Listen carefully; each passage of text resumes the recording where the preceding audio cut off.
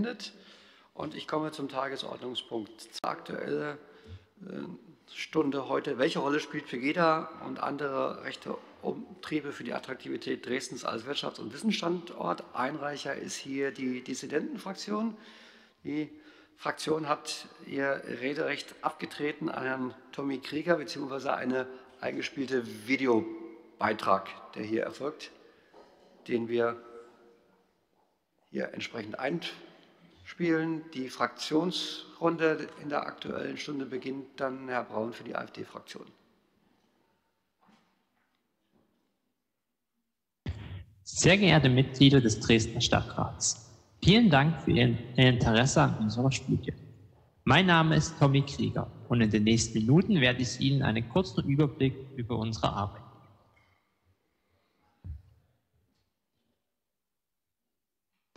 Ausgangspunkt unserer Studie ist die Beobachtung, dass Dresden durch Demonstrationen von Pegida und anderen Rechtsbewegungen verstärkt im Fokus der medialen Berichterstattung war.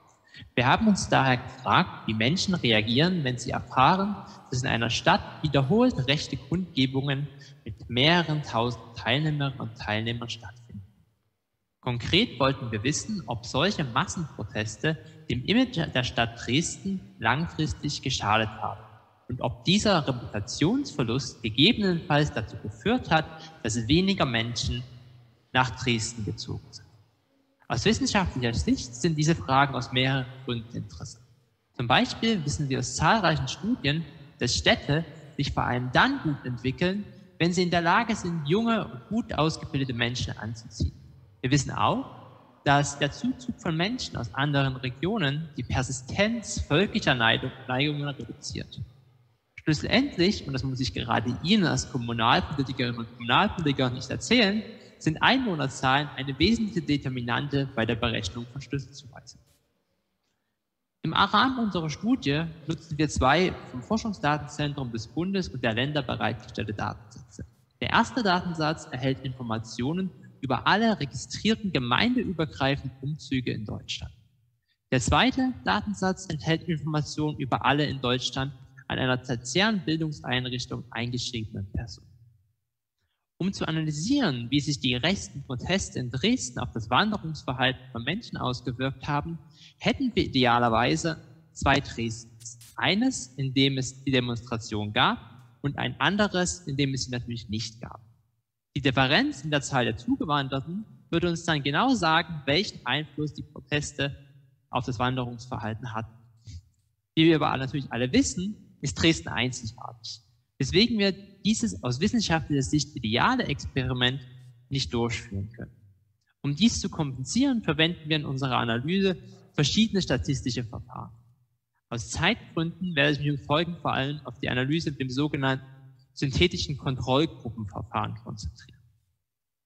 Die Grundidee dieses Verfahrens ist es, zunächst aus einem Pool anderer Städte ein synthetisches Dresden zu konstruieren, welches bis zur Entstehung äh, von Pegida genauso entwickelte wie Dresden selbst und äh, indem es nicht zu vergleichbaren Protesten kam. Im zweiten Schritt wird dann die Entwicklung Dresdens nach dem Beginn der Pegida-Kundgebungen mit der Entwicklung des synthetischen Dresdens verglichen. Diese Grafik zeigt das Hauptergebnis unserer Analyse. Wir sehen, dass die Zahl der aus einem anderen Bundesland nach Dresden gezogenen jungen Menschen nach Beginn der Pegida-Proteste im Vergleich zum synthetischen Dresden deutlich zurückgegangen ist. Im Jahr 2015 betrug die Differenz ungefähr 500 junge Menschen. In den Jahren 2016 bis 2018 waren es jeweils etwas mehr als 1000 18- bis 30-Jährige, die weniger nach Dresden gezogen sind. Für die Folgejahre kann ich noch keine Aussagen treffen. Die dafür notwendigen Daten wurden vom Statistischen Bundesamt noch nicht aufbereitet. Betonen möchte ich aber an dieser Stelle explizit, dass selbst ein Anstieg in den Zuzugszahlen für 2018 nicht automatisch bedeutet, dass der Schaden, den die rechten Proteste für Dresden angerichtet haben, kleiner geworden ist. Dies wäre zum Beispiel dann nicht der Fall, wenn ein solcher Anstieg demografische Gründe hat und im synthetischen Dresden ebenso sichtbar wäre.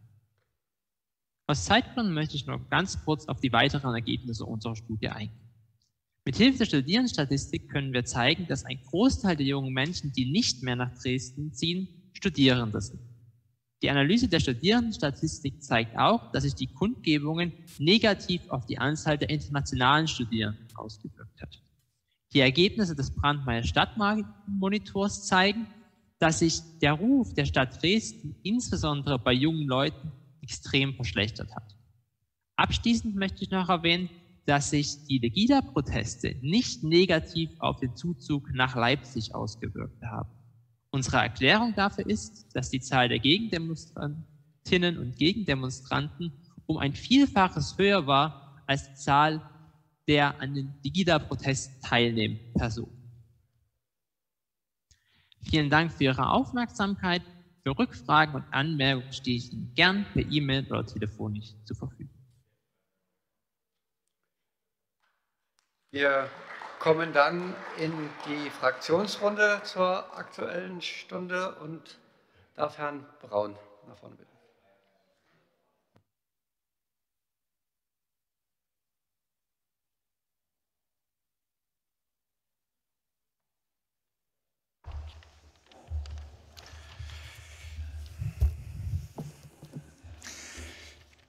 Sehr geehrter Herr Erster Bürgermeister, geehrte Stadträte, liebe Dresdner Bürger, es gibt so viele wichtige, drängende Themen in dieser Stadt. Trotzdem zwingt uns die Dissidentenfraktion über eine Studie zu debattieren, die sich mit einem Zeitraum von 2006 bis 2017 beschäftigt. Aus unserer Sicht ist dies ein durchsichtiger Missbrauch einer aktuellen Stunde. Das zeigt auch ein Blick in die Verfassung. Die Versammlungsfreiheit ist ein im Grundgesetz verankertes Recht. In Artikel 8 heißt es, alle Deutschen haben das Recht, sich ohne Anmeldung oder Erlaubnis friedlich und ohne Waffen zu versammeln. Wir als AfD-Fraktion bekennen uns uneingeschränkt zu Rechtsstaat und Grundgesetz und somit auch zur Versammlungsfreiheit. Es ist dabei völlig unerheblich, welche vermeintlichen Auswirkungen und Folgen mit friedlichen Demonstrationen einhergehen. Dresden hat sich als Wirtschafts- und Wissenschaftsstandort in den letzten Jahren überaus positiv entwickelt. Nicht wegen, sondern trotz dieses Stadtrates. Die Ansiedlung der Halbleiterfabrik von Bosch oder die Investitionsankündigungen von Jenoptik sind hierfür die jüngsten und prominentesten Beispiele. Der Stadtrat sollte Dresden in keiner Weise schlecht reden oder gar den leisesten Zweifel aufkommen lassen, dass das Grundrecht auf Versammlungsfreiheit in der Landeshauptstadt Dresden uneingeschränkt gilt. Vielen Dank. Als nächstes Fraktion die Fraktion Die Linke. Ich darf Herrn Schollbach nach vorne.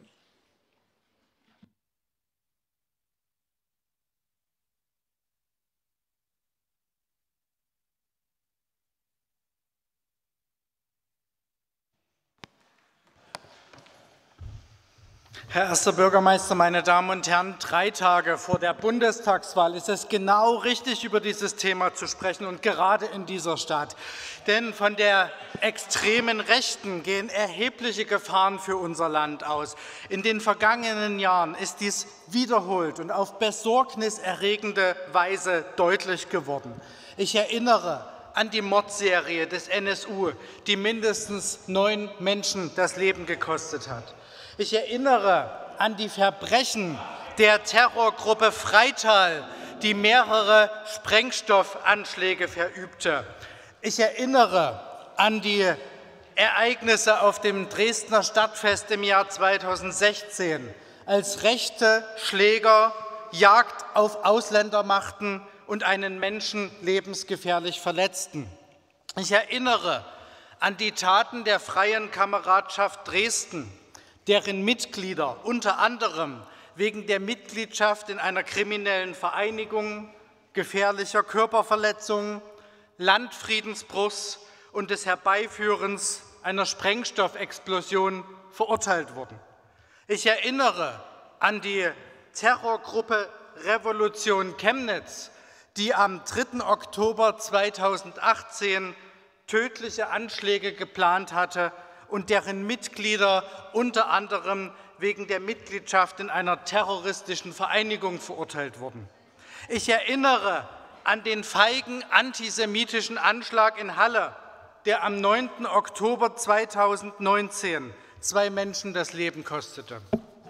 Und ich erinnere an den kaltblütigen Mord an einem 20-jährigen Tankstellenmitarbeiter, der am vergangenen Wochenende in Ida-Oberstein erschossen wurde, nachdem er den Täter auf die Einhaltung der Maskenpflicht hingewiesen hatte. Meine Damen und Herren, diese Aufzählung ließe sich noch lange fortsetzen. Und diese Entwicklung wurde nicht zuletzt dadurch begünstigt, dass der Staat zu lange, zu zögerlich auf die Ausbreitung und Verfestigung der Strukturen der extremen Rechten reagierte.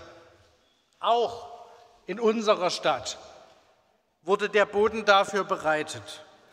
Es war im Februar 2009, als hier der europaweit größte Nazi-Aufmarsch stattfand. Sowohl in der Zeit zuvor als auch danach war die Stadt Dresden ein bei Nazis beliebter Ort für Kundgebungen und Aufmärsche, woran nicht zuletzt die hiesige Versammlungsbehörde ihren Anteil hat. Sowohl die spätere Terroristin des nationalsozialistischen Untergrunds Beate Zschäpe als auch der AfD-Spitzenpolitiker Björn Höcke haben an solchen Demonstrationen in Dresden teilgenommen. Die Saat ist offenkundig aufgegangen. Seit sieben Jahren hetzt nun Pegida auf Dresdner Straßen und Plätzen. Woche für Woche wird Hass auf Ausländerinnen und Ausländer geschürt, werden Verschwörungstheorien verbreitet und führende Repräsentanten unseres Staates verunglimpft. Die dort gehaltenen Reden erinnern in ihrem Duktus nicht selten an jene der Nazis und dürften an Rohheit, Vulgarität und Menschenverachtung kaum zu überbieten sein. Es geht hier übrigens um mehr, um viel mehr als nur den Ruf der Stadt oder die Attraktivität Dresdens für die Wirtschaft. Denn aus Worten sind längst Taten geworden. Jener Täter, der die Sprengstoffanschläge auf die Moschee und das Kongresszentrum in Dresden verübte und deshalb wegen versuchten Mordes verurteilt wurde, hatte zuvor an einer Kundgebung von Pegida teilgenommen. Er war dort als Redner aufgetreten, wurde von der Menge aufgestachelt und erhielt öffentlich Lob von Pegida-Anführer Bachmann, einem wegen Drogenhandels und anderer Delikte rechtskräftig verurteilten Straftäter. Heute, im Jahr 2021, ist die extreme Rechte bundesweit in den Parlamenten präsent. Am kommenden Sonntag wird der 20. Deutsche Bundestag gewählt und es besteht die reale Gefahr, dass unsere schöne Stadt von zwei direkt gewählten, hartgesottenen Rechten im Bundestag vertreten wird. Ich finde, das wäre eine Schande.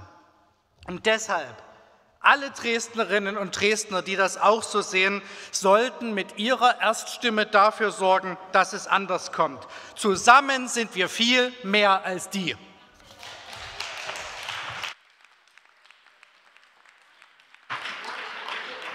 Die nächste Fraktion ist die SPD-Fraktion. Die SPD-Fraktion hat ihr Rederecht abgetreten an Peter Rosenbaum, Leiter des International Office der TU Dresden.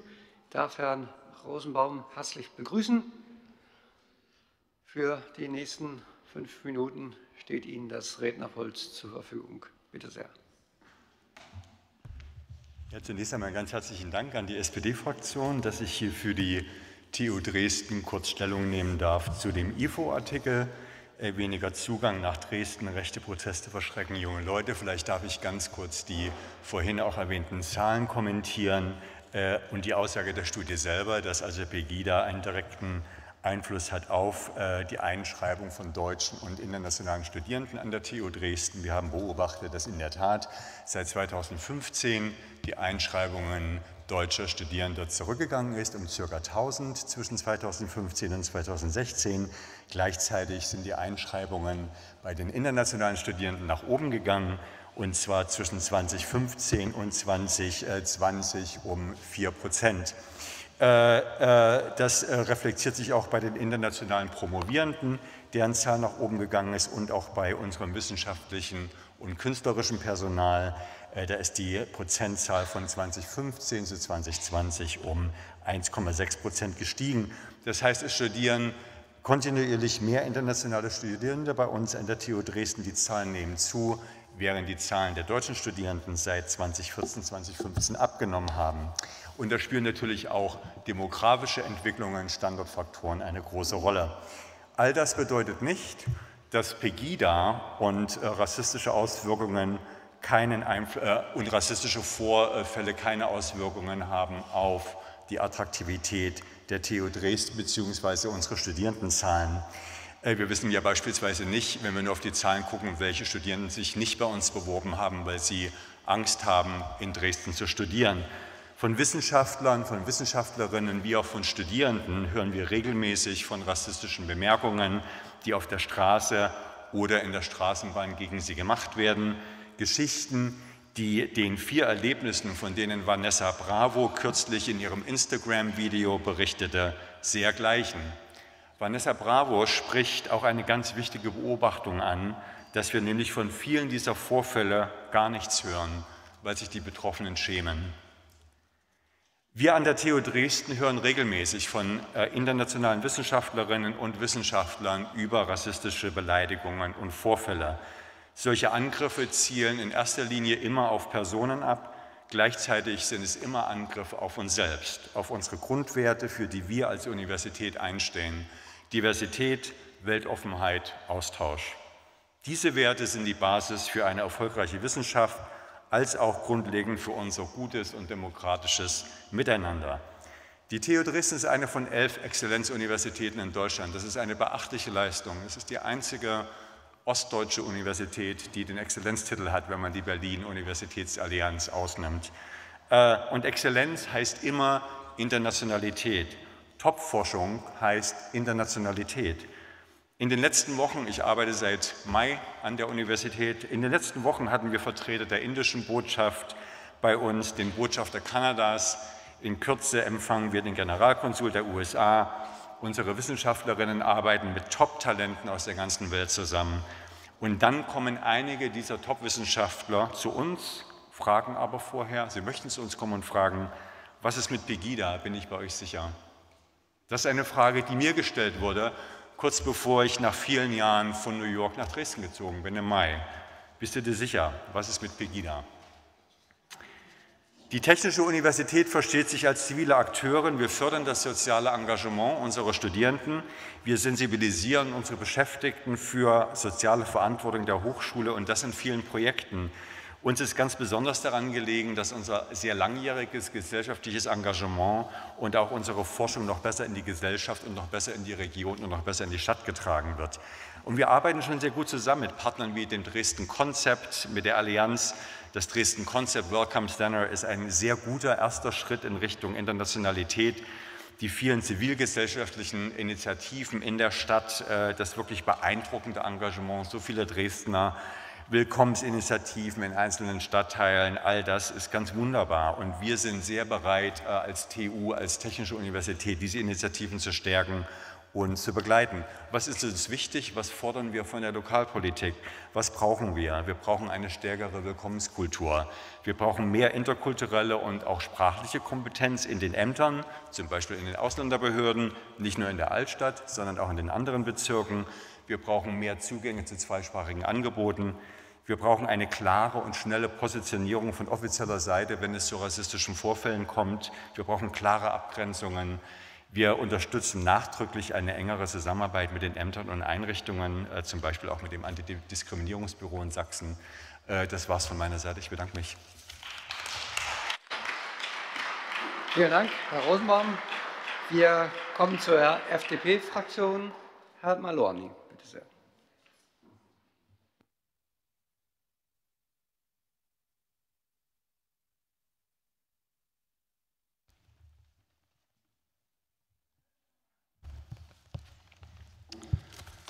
sehr. Geehrter erster Bürgermeister, sehr geehrte Damen und Herren, Aktuelle Stunde heißt das Ding. Wir fangen mit aktuellen Dingen an. Juni 2021. Dresdens Hightech-Standort auf Wachstumskurs, titeln die Medien.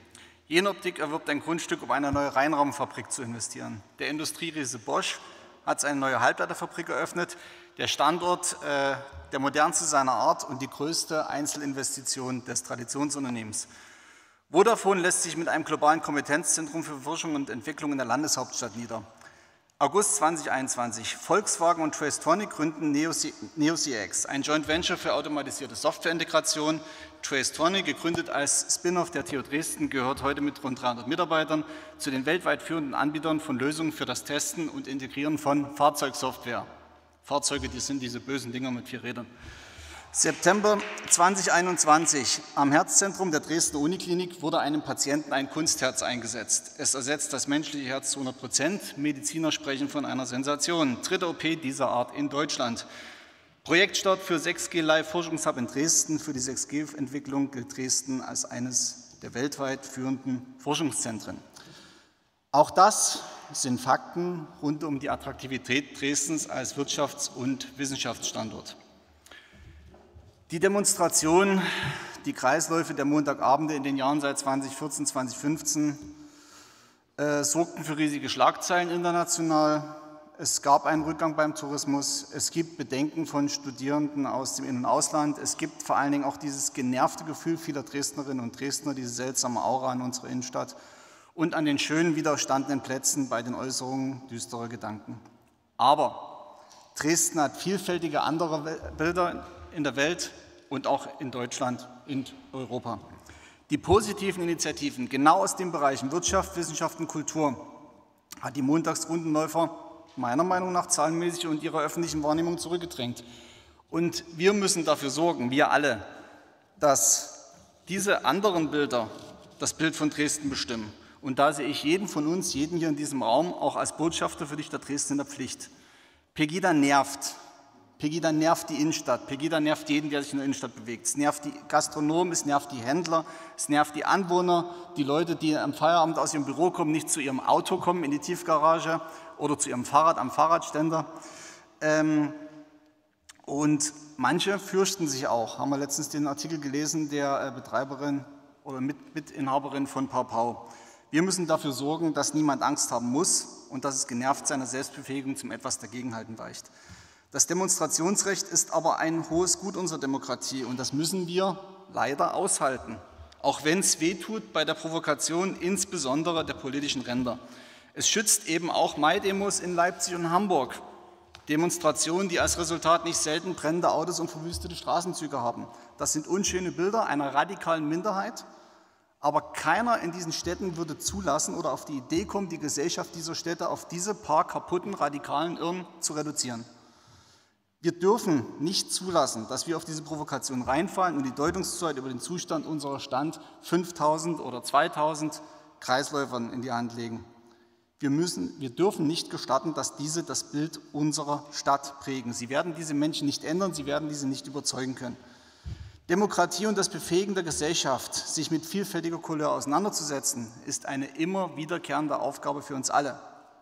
Wir haben die Aufgabe, das auszuhalten und unsere Stadt nicht schlecht dastehen zu lassen. Wir müssen unsere Stadtplätze selbst leichter belegen und beleben lassen. Herr Kühn, der Appell ein bisschen an Sie und an Ihre Mitarbeiter, die ja immer die äh, heilige Kuh der Sondernutzung pflegen und hegen. Und äh, für mich ist es unbegreiflich, dass es ein Gastronom, ein Händler oder ein Veranstalter wesentlich schwerer hat, mal was auf dem Altmarkt oder auf dem Neumarkt oder auf dem Theaterplatz äh, zu veranstalten, als die Typen da mit ihren Fahnen ähm, und komischen Parolen. Verstehe ich bis heute nicht. Wir müssen Studenten ermutigen, nach Dresden zu kommen. Wir müssen Firmen ermutigen, nach Dresden zu kommen und können ihnen auch mal einen Straßennamen gönnen. Wir müssen dafür sorgen, dass Dresden ein positives Bild in der Welt bekommt. Und das wäre eigentlich ein Thema für die aktuelle Stunde. Vielen Dank. Vielen Dank, Herr Maloney. Als nächstes die Freien Wähler. Herr Hannig, bitte.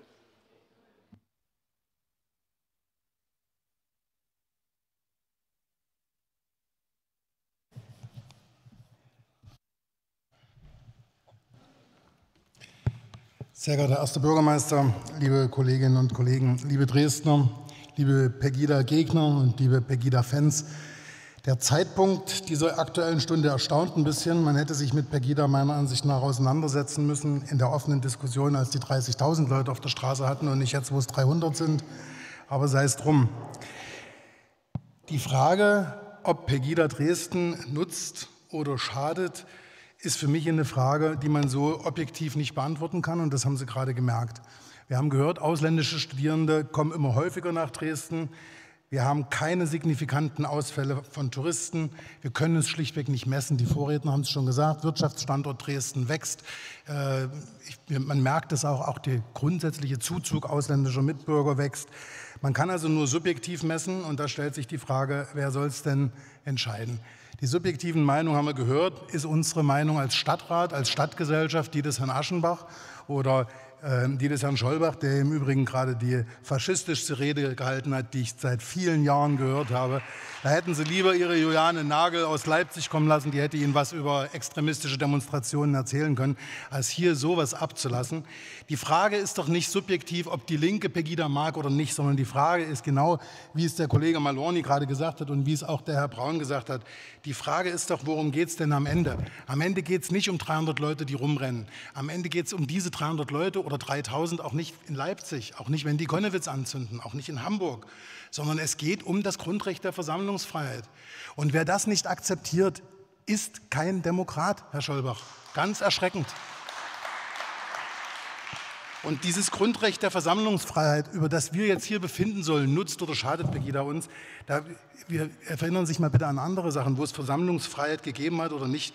Glauben Sie, der Stadtrat von Peking hat 1989 darüber diskutiert, ob die Ansammlung von äh, antikommunistischen Demonstranten dem Ansehen der Stadt Peking schadet? Ich bin mir sicher, die haben darüber diskutiert. Glauben Sie nicht, dass die Kiewer Stadtbevölkerung sich nach den Maidan-Demonstrationen darüber auseinandergesetzt hat, ob die Maidan-Demonstrationen schaden oder nutzen? Wir haben hier gesagt, die schaden und es gab dort Tod, es sind Menschen erschossen worden. Wie schlimm ist denn das? Aber die Herrschenden in Kiew fanden das damals ganz toll. Glauben Sie, dass der Stadtrat in Leipzig mit Ihren Linken ein, ein, ein Kommuniqué abgibt und sagt, wir sind gegen Versammlungsfreiheit und wir sind gegen Demonstrationsfreiheit von Linken nach den Ereignissen in Konnewitz letzte Woche? Glauben Sie, dass der Stadtrat in Memphis in den 50er Jahren sich zusammengesetzt hat und gesagt hat, es regt mich hier auf, dass Martin Luther King sich hierher stellt und für Schwarzenrechte eintritt? Kann doch wohl nicht sein, wir wollen hier keine Schwarzen. Bestimmt haben die das gemacht in den 50ern. Dann wurde Martin Luther King dort übrigens erschossen. Glauben Sie, dass möglicherweise die Bürger von Mühlhausen sich irgendwann hingestellt haben, Ihnen fehlt Geschichtswissen, Herr Aschenbach, das weiß ich, aber Sie können gerne mal bei mir nachfragen. Glauben Sie allen Ernstes, dass der Stadtrat von Mühlhausen damals gejubelt hat und gesagt hat, prima, Thomas Münzer, stell dich hierher und erfinde den Bauernkrieg bei uns. Nein, diejenigen, die ihre Meinungsfreiheit ausgelebt haben, haben sich schon immer mit denen auseinandersetzen müssen, die eine andere Meinung hatten. Und Gott sei Dank, Gott sei Dank ist unsere Verfassung eine, die die Meinungsfreiheit schützt. Die Meinungsfreiheit eines jeden, sogar ihre, die Meinungsfreiheit und die Demonstrationsfreiheit von allen, von Linken, von Rechten, von Schwulen, von Farbigen, von allen Menschen. Und Gott sei Dank, und deswegen habe ich die Beispiele aus der Geschichte gebracht, die der Herr Aschenbach nicht verstanden hat, Gott sei Dank schadet nicht die Meinungsfreiheit einer Stadt, sondern die Unterdrückung der Demokratie, die, scheidet nicht nur, die schadet nicht nur einer Stadt, die schadet einer ganzen Gesellschaft, wie wir hier an diesen Redebeiträgen merken. Und nochmal, Gott sei Dank, entscheidet über die Frage, ob Meinungsfreiheit und Demonstrationsfreiheit, Ihre Störungen sind so widerlich, aber gut, über die Frage, ob die Ausübung von Meinungs- oder Demonstrationsfreiheit einer Stadt schadet, entscheidet Gott sei Dank keine aktuelle Stunde in einem Stadtrat, wie meine Beispiele zeigen, sondern die Geschichte. Und insofern kann ich nur sagen, die, die bei Pegida demonstrieren und die überall anders demonstrieren und die friedlich bleiben und die keine Städte anzünden, keine Menschen töten, nicht zum Mord und Totschlag aufrufen. Die haben meine vollste Sympathie. Meinungsfreiheit ist das höchste Gut, das wir hier haben. Und allein diese Diskussion darüber ist schon kritisch. Und erlauben Sie mir eine abschließende Bemerkung. Gerade heute nimmt es mich sehr mit, mir sowas anzuhören zu müssen. Ja, ich habe mich heute auf einer gerade veröffentlichten Todesliste der 250 größten Demokratiefeinde gefunden. Das macht unser Land kaputt und nicht 300 Leute, die im Kreis laufen und ihre politische Meinung laut sagen. Vielen Dank.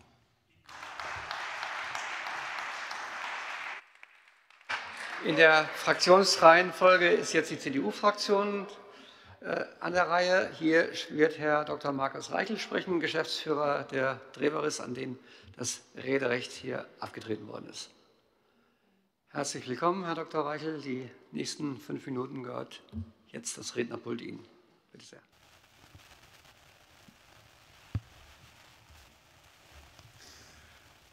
Sehr geehrter Herr Erster Bürgermeister, meine sehr geehrten Damen und Herren, mein Name ist Markus Reichel und ich bin der Geschäftsführer eines international tätigen Unternehmens hier in Dresden, in den vergangenen 20 Jahren haben wir hier bereits etwa 2000 Unternehmen bei internationalen Ansiedlungs- und auch Markteintrittsprojekten erfolgreich begleitet. Und dazu gehört eben auch die Frage nach der Bewertung der Attraktivität eines Standortes. Und dafür beschäftige ich ein Team von 15 Mitarbeitern mit sehr unterschiedlichen nationalen Hintergründen.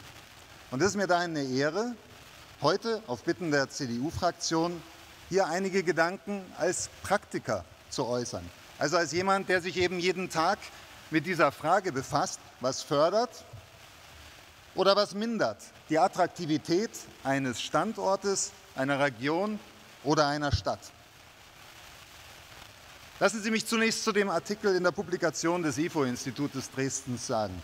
Ich denke, dass der sowohl auf der wissenschaftlichen Ebene hinsichtlich der Methodik sicherlich noch erheblich besser validiert werden muss. Auch der Betrachtungszeitraum, glaube ich, ist noch zu kurz. Ich bin jedoch dankbar dafür, dass es eben so einen Beitrag seitens der Wissenschaft gibt, um so ein komplexes, politisches wie auch wirtschaftliches Phänomen beschreiben zu wollen. Wie nehme ich jetzt eben auch aus der Praxis konkret die Auswirkungen von Pegida auf die Attraktivität Dresdens als ein Wirtschafts-, als ein Lebens-, als ein Arbeitsstandort wahr. Es ist klar, wurde auch jetzt schon mehrfach, genannt, wir haben Vorzeigeinvestitionen, wie zum Beispiel von Bosch, die nach Dresden gekommen sind, oder auch die höchste Dichte von wissenschaftlichen Institutionen überhaupt hier in Deutschland. Die zeigen, Dresden ist attraktiv. Aber wenn ich mich mit anderen Unternehmern unterhalte, sei es mit Dresdner Unternehmern, sei es mit solchen von außerhalb, die zum Beispiel erwägen, sich hier in Dresden anzusiedeln. Es kommt immer wieder ein ganz, ganz wesentliches Thema. Personalmangel allgemein und insbesondere der Fachkräftebedarf. Und davon, ob Dresden genügend Menschen, in Dresden genügend Menschen sind, die in unseren aufstrebenden Dresdner Unternehmen arbeiten werden, davon hängt auch ab, ob unsere Wirtschaft hier floriert und natürlich ist das auch die Basis dafür, dass alles, was wir im Bereich Bildung, Soziales, Kunst, Kultur und Wissenschaft erreichen wollen. Es handelt sich also hier schlicht um eine Schlüsselaufgabe. Und hier sehe ich schon, dass Pegida zu einer Spaltung in der Gesellschaft beigetragen hat, die sich inzwischen tief eingegraben hat und die sehr, sehr konkret schädlich wird für unser Gemeinwesen. Mal ein paar konkrete Beispiele. Wenn ich von meinem ausländischen, einem meiner ausländischen Mitarbeiter höre, wenn ich in Dresden unterwegs bin, dann bemühe ich mich auf der Straße nicht in meiner Muttersprache zu sprechen. Wenn ich davon höre, dass Spezialisten mit internationalem Hintergrund ein Stellenangebot hier in Dresden ablehnen, weil sie sagen, Stadt ist eigentlich toll, die Stelle ist toll, aber ich kann meine Familie nicht überzeugen, nach Dresden zu ziehen, wir haben einfach Angst. Wenn mich Unternehmer aus anderen Teilen Deutschlands, aus der Schweiz oder anderswo immer wieder, wenn Dresden im Zusammenhang mit Pegida in die Medien kommt, fragen, was ist bei euch dort los? Meine Damen und Herren, dann zeigt sich, Pegida, aber auch der Umgang mit Pegida haben schon lange ein Stadium erreicht, wo nicht mehr der politische Diskurs im Vordergrund steht. Nein, es handelt sich eigentlich um einen Kulturkampf auf unseren Straßen, mitten im Zentrum unserer wunderbaren Stadt, der mit jeder Woche ein Stückchen mehr an den Fundamenten unseres Gemeinwohls rüttelt. Die Zeiten, zu denen viele Menschen, gerade auch aus dem Bürgertum, mit allwöchentlichen Demonstrationen auf ihre Sorgen hinwiesen, die sind schon lange vorbei. Geblieben ist ein Ritual, das niemandem nützt und das zu der Verrohung unserer Gesellschaft beiträgt, wie es jüngst von Vanessa Bravo beschrieben wurde. Lassen Sie mich daher abschließend sagen, ich zähle auf die Verantwortung des Einzelnen für seine Worte und für seine Taten.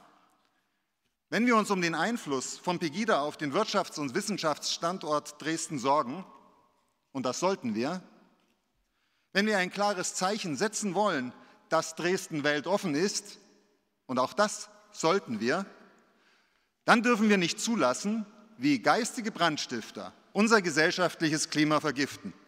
Dann sind wir alle gefordert zu widersprechen.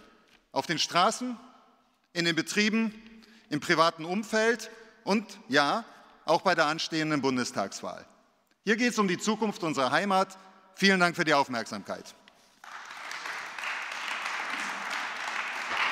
Vielen Dank, Herr Dr. Reichel. In der Fraktionsrunde Bündnis 90 Die Grünen und Frau Mühle, bitte sehr.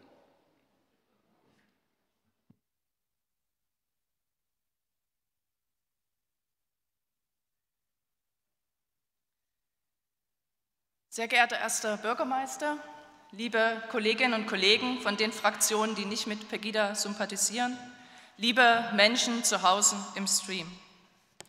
Ich möchte als erstes sagen, worum es heute aus meiner Sicht hier nicht ging, nämlich nicht um die Versammlungsfreiheit.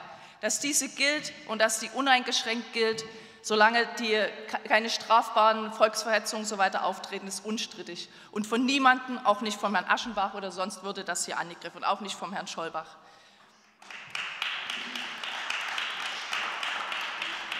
Worum es aber geht, gehen muss, ist, dass bei Pegida ein Sammelbecken war, wie richtig Herr Scholbach darauf hingewiesen hat, dass sich dort terroristische Vereinigungen vernetzt begründet haben.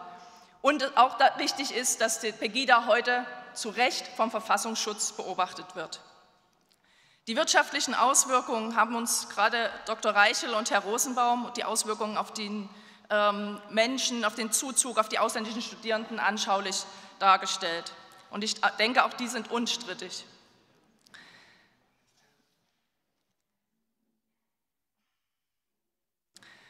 Was jetzt noch nicht gesagt worden ist, ist zum einen, was kann eigentlich die Stadt dafür tun? Und Dr. Rosen, äh, Herr Rosenbaum hatte dafür ganz konkrete Gründe, äh, Punkte genannt, die die Universität, die die internationalen Einrichtungen, die die Forschungseinrichtungen sich wünschen.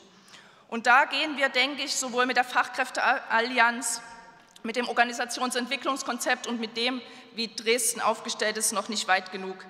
Ausdrücklich hervorheben möchte ich in diesem Zusammenhang die Arbeit der Integrations- und Ausländerbeauftragten der Stadt Dresden. Und ich erhoffe mir wichtige Impulse aus der aktuellen Erarbeitung des Aktionsplans Integration. In dem Zusammenhang ist mir aber noch wichtig, weg von der Wirtschaft zu schauen. Denn auch wenn die Zahlen an ausländischen Studierenden in Dresden steigen und die Probleme beim Zuzug von Fachkräften aus Deutschland, der EU und anderen Ländern etwas geringer geworden sind, darf es eben nicht nur darum gehen, ob die Menschen sich dafür entscheiden, überhaupt hierher zu kommen, sondern auch darum, wie sie, sich, wie sie hier leben können und ob sie hier angstfrei leben können. Das gilt sowohl für Stipendiatinnen von internationalen Forschungsprogrammen genauso wie für Menschen mit Fluchterfahrung. Sie alle müssen hier frei von rassistischen und anderen menschenfeindlichen Angriffen leben. Und deshalb möchte ich den Blick von dem Symptom Pegida und seinen wirtschaftlichen Auswirkungen hin zu dem, was Leben in Dresden für People of Color, für Menschen mit Migrationsgeschichte wirklich bedeutet, richten. Das sind Diskriminierungserfahrungen auf dem Arbeits- und Wohnungsmarkt, Polizei oder andere Behörden, die beispielsweise berichten von Opfern rassistischer Gewalt oder Beschimpfungen, Herr Rosenbaum hat es beschrieben, nicht glauben oder sie ernst nehmen. Es sind Kinder, deren Bildungschancen schlechter sind, weil Deutsch nicht ihre Muttersprache ist. Erst am Wochenende wurde in einem Schulgebäude in Proles in dem regelmäßig Deutschkurse stattfinden, Hakenkreuze an die Wand geschmiert. Über die Stellungnahme von Vanessa Bravo wurde schon gesprochen. Und für viele Geflüchtete und andere People of Color sind rassistische Beleidigungen, Angriffe beängstigende tägliche Realität. Ja, zuletzt waren extrem rechte Proteste in Dresden weniger in der Berichterstattung. Aber Pegida läuft und schreit immer noch, genauso wie die rechtsoffenen Querdenker. Man könnte sagen, wenn niemand hinschaut, haben sie keine Wirkung. Wenn sie nicht mehr in den Medien sind, haben sie keine Wirkung. Doch so funktioniert es nicht. In Dresden ist unpolitisch sein keine Option. Neutralität gegenüber Hass ist keine Option. Und ich habe mich gerade gefreut über die Worte vom Dr. Reichel und würde mich wirklich freuen, wenn die CDU dort entschlossener künftig auftreten würde. Und zwar nicht nur mit einzelnen Personen, sondern in der Gesamtheit.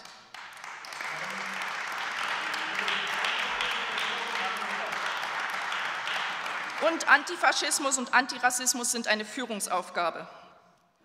Rechtsextremismus, so viel zur Aktualität, wurde gemeinsam mit Wohnen in der letzten Bürgerumfrage nach Verkehr als größtes Problem in der Stadt benannt. Es ist eben keine Lappalie, es ist das wichtige Problem in Dresden. Die Auswirkungen von Pegida, die Verschiebung des Sagbaren bis ins Menschenfeindliche hinein, sind spürbar. Nicht für alle von uns gleich, aber doch für zu viele Dresdner Bürgerinnen und Bürger.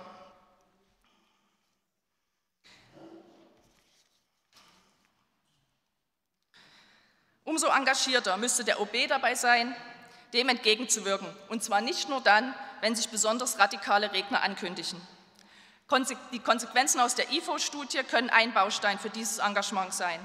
Mit der aktuellen Analyse der kommunalen Handlungsfelder und Vorbereitung des Aktionsplans Integration liegt dafür ein wichtiger Leitfaden vor, in dem auch die konkreten Herausforderungen und Handlungsoptionen für die Integration auf dem Arbeitsmarkt benannt werden.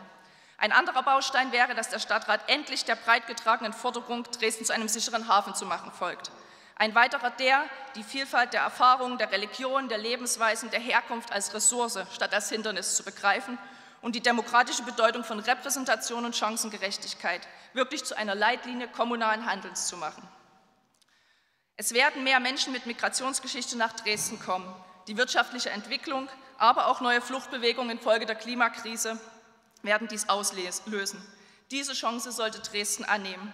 Und wie Herr Krieger ganz am Anfang festgestellt hat, die Zuwanderung wird und kann die Persistenz völkischer Einstellungen in der Dresdner Gesellschaft ähm, vermindern. Und das ist dringend notwendig.